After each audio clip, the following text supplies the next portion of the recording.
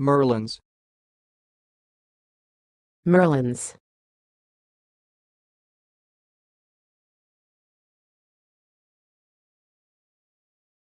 Thanks for watching. Please subscribe to our videos on YouTube.